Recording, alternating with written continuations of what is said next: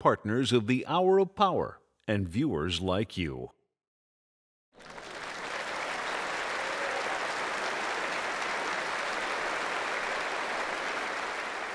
Friends, will you hold your hands out like this as a way of receiving? We're going to say this together. I'm not what I do. I'm not what I have. I'm not what people say about me. I am the beloved of God. It's who I am. No one can take it from me. I don't have to worry. I don't have to hurry. I can trust my friend Jesus and share his love with the world. Thanks. You can be seated. You ever feel like you are surviving, like you're treading water? It's very easy in life when we're just trying to obey God, we're just trying to be a good person, we're just we're trying to be faithful, to feel like life is just this cycle or treadmill that we can't seem to get ahead. Very often, it's in those times we wonder has God abandoned us? Has God left us? Very often in those times, in our fear, in our disappointment, in our anguish, we think maybe God's far from us. Well, today I want to talk about the importance, if that's where God has you, if you truly believe where it is, to trust that God can use that place to make you into the best version of you. Today, my recommendation to you is to be faithful to what God has called us to. You wonder, is this where God really has me? Sometimes He doesn't have you there, but sometimes He does. Sometimes He's called you to be faithful right where you are. Sometimes He's called you to the desert. Sometimes He calls you to the fire. Maybe you're going through suffering even right now. Maybe things are harder than they've ever been. You think, has God abandoned me? He'll never abandon you. And I want you to know that whatever it is you're going through, if you continue to be faithful and trust in the Lord and just do the next right thing, do what He's called you to do, your fire will become a crucible. You know what a crucible is, right?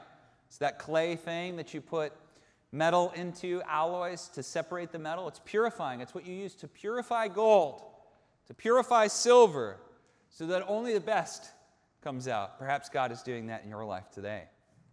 Let me tell you something God cares more about who you're becoming than where you're going.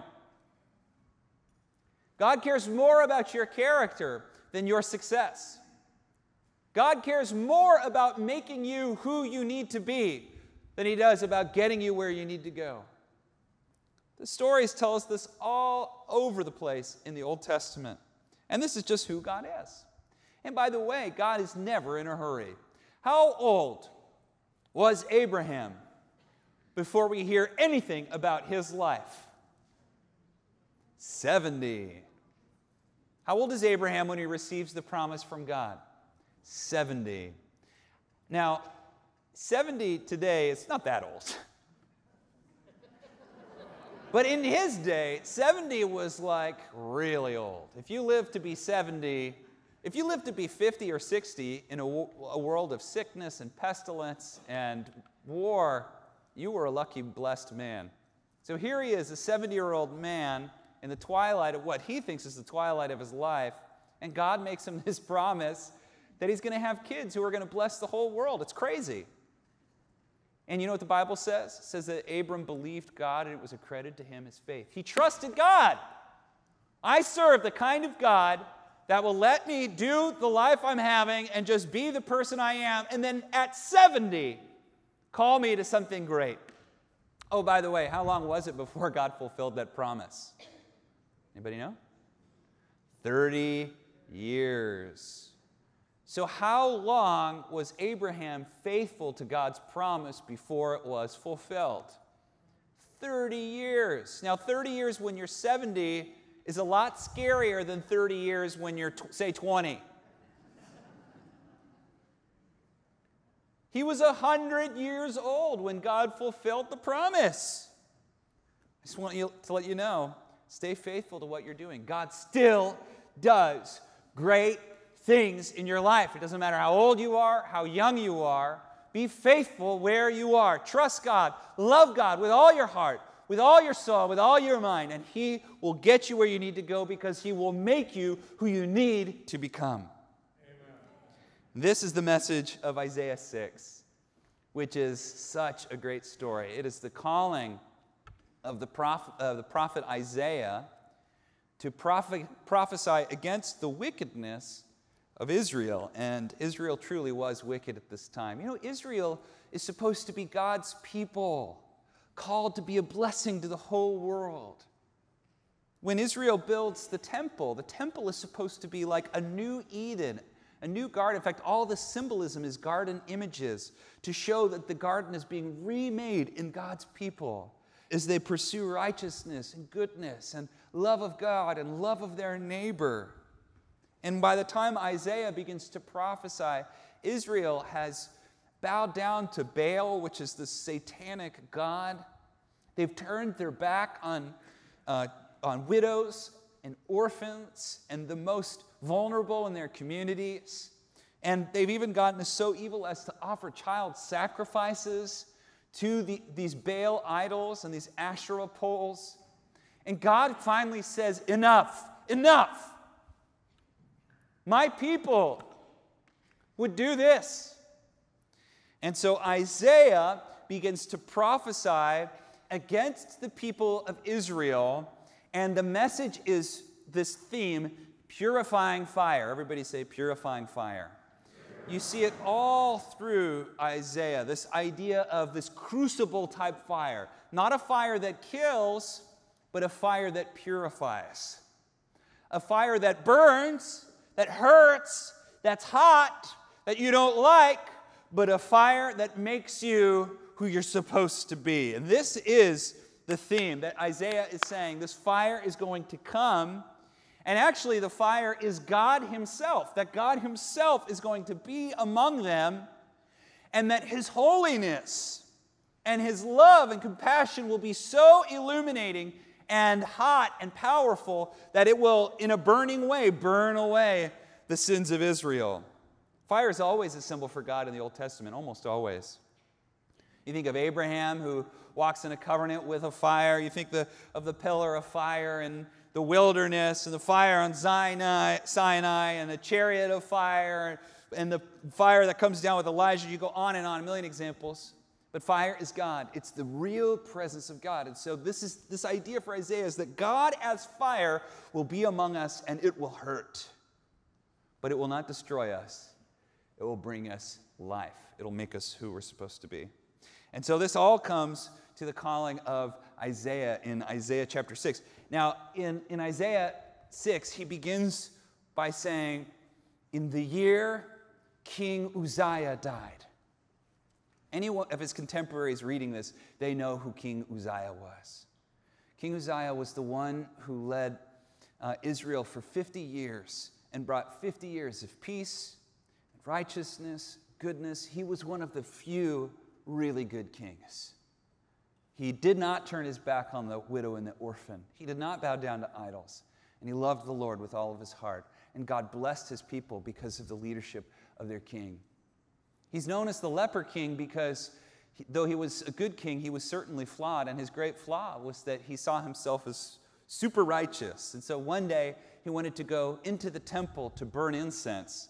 And this is something that only the priests are allowed to do. But I think this is me talking that Maybe he thought he was so holy and so righteous that he himself could make this offering even though he wasn't a priest. And just as he's about to lay the incense on the altar, there's this earthquake and a crack breaks in the temple, and a little bit of light comes through, and the beam of light that goes across the middle of his face becomes leprosy. It's a symbol of him being unclean. And so, for the rest of his life, King Uzziah rules from his home because to be kosher, you're not allowed to you know, be in the temple, you're not allowed to be in these different places. Okay, so the year King Uzziah dies is just right when Israel begins to turn its back on God. And five years after his death, Assyria begins to invade. Okay, so he says, The year King Uzziah died, he says, I was in the temple. Now, picture this temple It's uh, not a lot larger, the actual temple part, than the sanctuary we're in now, made of stone, cubic kind of a shape, and dark on the inside. Some windows, but they're small and they have curtains over them. So picture a dark space with oil lamps and candles. So there's you know dim light going against the thing. And there's people in there and they're worshiping and they're having some kind of a maybe temple sacrifice or something like that. And it's a normal day. They're worshiping. And isaiah is a normal guy. And all of a sudden i picture that there begins to be a trembling and that a dark a dark scary feeling comes over the place maybe some of the candles flicker out and then all of a sudden, there's smoke that begins to fill the temple. The word for holy in Hebrew is kadosh. Everybody say kadosh. And all of a sudden, you start to hear kadosh, kadosh, kadosh, kadosh. And then out of the smoke, boom, this big bright light with beams coming through the smoke comes and the whole temple is filled with the train that comes off of the robe of a king, and glory fills the whole temple. And then, as Isaiah looks up and all the people look up, above this thing that is God, this fiery light and smoke, there are these angels called seraphim. You know, everybody say seraphim. Hebrew in, in seraphim, it literally means the burning ones. Tradition says that their wings or their whole bodies were on fire, that purifying fire, right? And they're flying around these beams of fire in this dark space, light shooting out. And they say, Holy, holy, holy is the Lord God Almighty. The whole earth is full of His glory. In Hebrew, it's Kadosh, Kadosh, Kadosh. And it says that every time they say this word, Kadosh, the pillars tremble. Dust comes from the ceiling. Cracks form. Everything is trembling as it goes, Kadosh! Kadosh! Kadosh! Adonai! Elohim! Tzevot! That word Tzevot is armies. God of armies, God of war, God of fire, God of wrath, right? So there's this boom, boom, and everybody is scared out of their mind. I'm trying to say is it was very freaky. it's a theophany, it's a theophany, not a vision. It's a total revelation of God's presence. And everybody is terrified. Imagine what you would do. What would you do? Well, I'll tell you what Isaiah did. He freaked out. And he, on his, I imagine him on his knees in total submission, says out loud, Woe is me! For I am what? Ruined. I'm to die. For I am a man of unclean lips, and I live among a people of unclean lips, and my eyes have seen the King, the Lord Almighty. Nobody sees God and lives.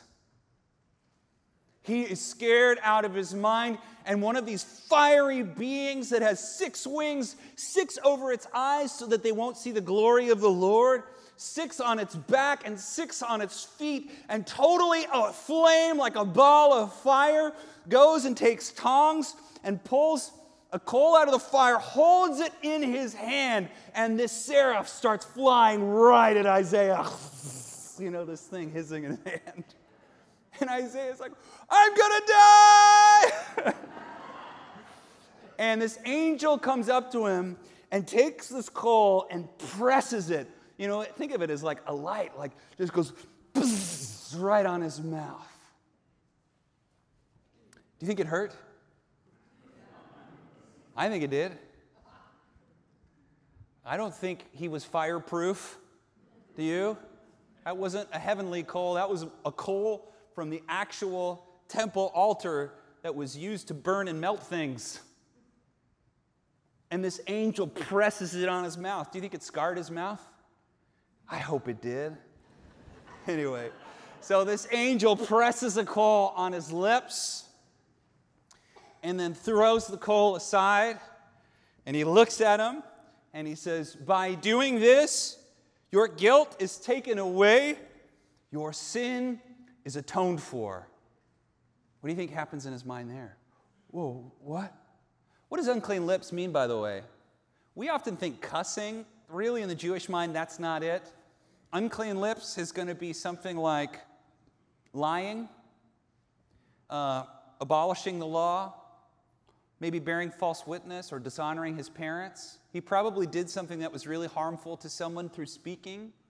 And it was something that he carried a lot, a weight, a shame. Maybe it's something that he couldn't fix. Maybe it was something that was done to someone who already died and he couldn't say he was sorry. For whatever reason, Isaiah had carried around this guilt, and he knew that to be in the presence of the, the God of fire, that he would be consumed. He would be the chaff that would be burned away. He would not remain.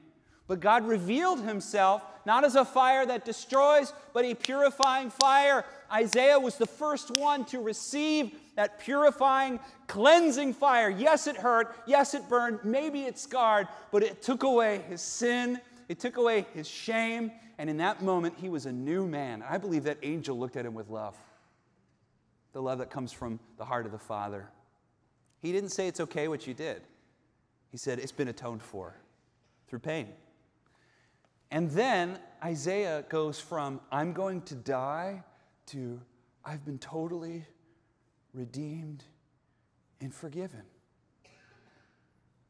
That's an amazing feeling. If you've never been forgiven of something horrible, there's, there's nothing quite like it. In fact, Jesus once tells a story when he's ministering to teachers of the law and religious leaders in his community, and a prostitute comes in and begins to wash his feet. He basically ignores her, and, and he does it on, as a teaching element. And people say if, if Jesus knew who this woman was, he would not, and he was a prophet, he would not let her wash his feet. And they begin snickering. And then, knowing all of this is happening, Jesus asks Peter a question. He says, Peter, there was a man who was owed five denarii and another man who was owed 500 denarii, and he forgave both men. Who do you think loved him more? And Peter looks at Jesus and he says, The one who is forgiven of the great sum. And he says, That's right. He who has been forgiven of little loves little. He who has been forgiven of much loves much. I think when Isaiah's mouth when his sin was atoned for by the purifying fire that he will prophesy about later, his heart is full of love for God. And I believe he goes from absolute terror to absolute adoration of the throne of God. He goes from I'm going to die to I'm redeemed, I'm forgiven, I'm saved. Maybe he begins to say, Kadosh, Kadosh, Kadosh, Adonai Elohim, Adonai Tzevot. And then God finally speaks for the first time. And in the temple, remember, there's a bunch of people there. They're all standing around witnessing this amazing thing. And God says aloud, Who will go for us? Whom shall we send? Doesn't say where they're going, doesn't say why, doesn't say when.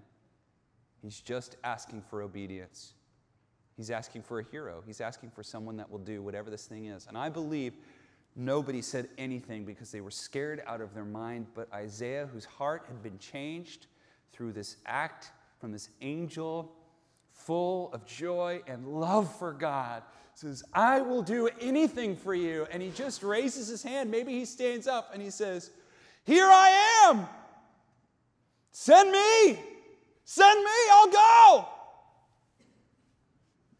And then God says to him, I'm sending you to your people Israel, and they're not going to listen to you. You're going to preach to them about the poor, and they're going to shut their ears. You're going to preach to them about the orphans and the widows, and they're going to calcify and harden their hearts. You're going to preach to them against idolatry and against child sacrifice. And they're going to hate you. And not one person is going to listen to you. And not one person is going to repent ever. I don't know about you, but to me, that sounds like a call to failure.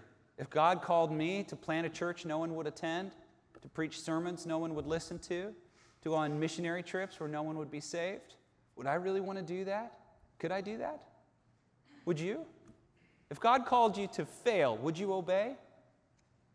Some of us say yes, but why? Why? I can tell you why Isaiah did it because he loved God with all his heart, with all his soul, with all his strength. He loved God and trusted God, and it was accredited to him as righteousness. And so Isaiah says, Okay, I'll go, I'll preach to people, and no one will listen. And then he asks a question with chutzpah, which is this great Hebrew word that's taken on a weird thing today, but it's faith. And he says, How long? And God basically says, Forever. Until the Babylonian exile.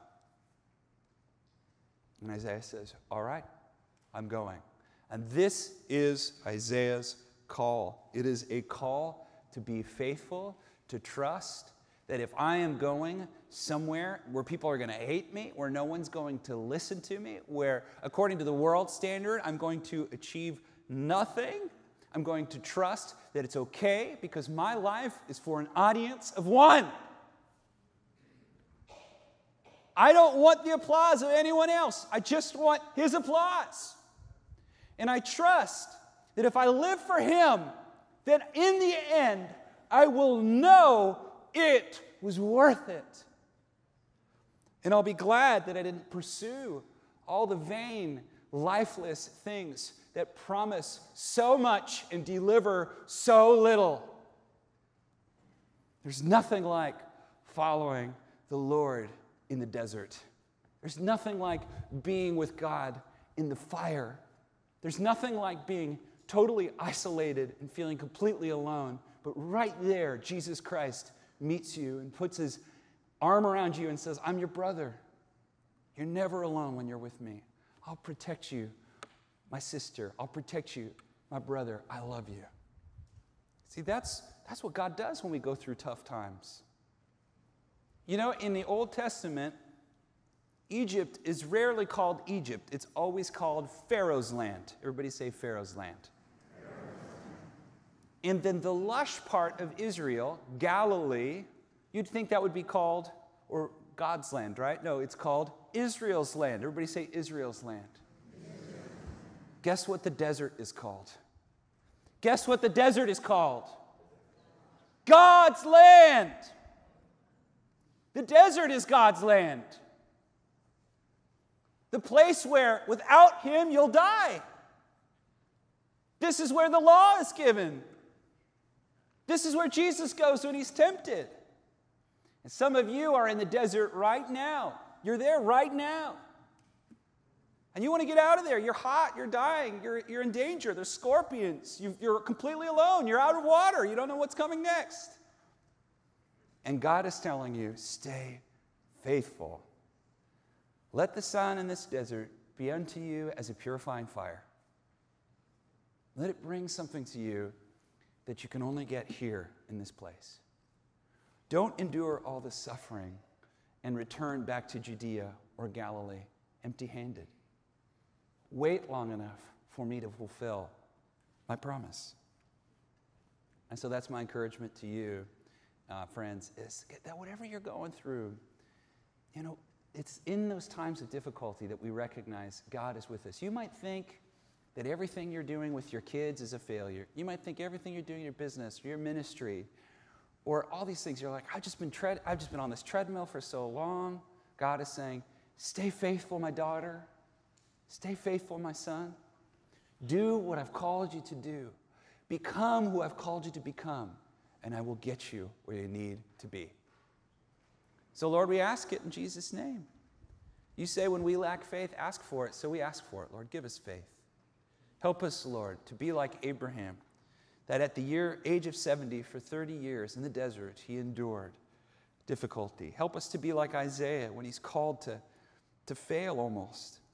We see Isaiah was such a great success, actually, that even now we look at his words and we're inspired. And he's maybe the most quoted prophet by Jesus. He changed the whole world because You know, he knew you didn't call him to failure, the world standards, but he, he knows, Lord, that, that you, you always call us, even though it doesn't look like it, to greatness. Lord, we thank you. We love you. It's in Jesus' name we pray. Amen. Hannah and I are so happy you've joined us in worship today, and we'd like to say thank you for all the ways you continue to support Hour of Power worldwide on its mission. God is on the move, and great things are happening.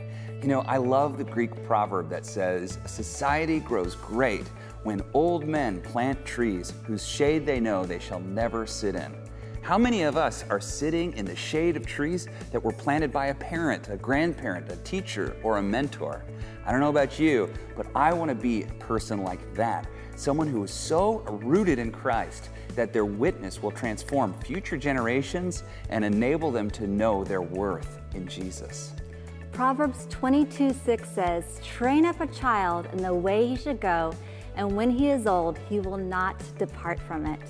In our own parenting, Bobby and I believe it's so important to connect with them and teach them how to connect with others. By affirming the dignity of those around us and agreeing with what Jesus says about them, we change the world one relationship at a time.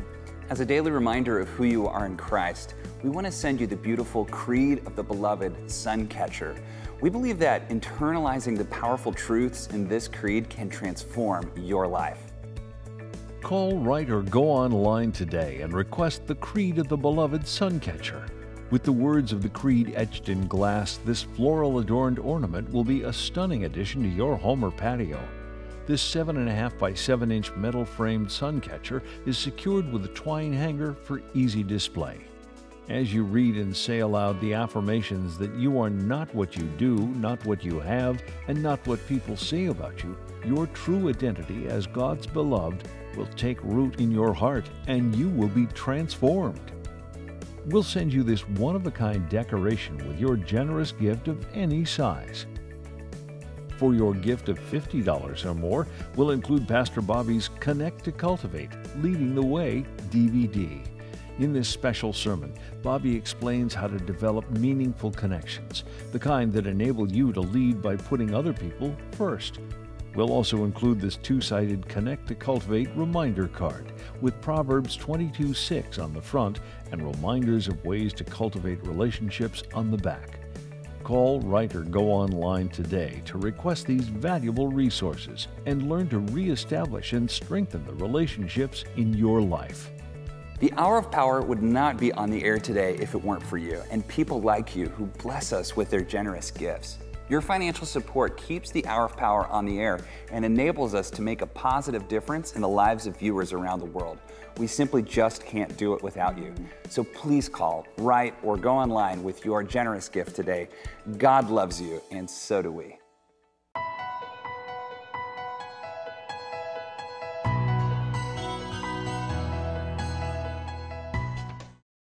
The preceding program was paid for by the ministry partners of the Hour of Power and viewers like you and is a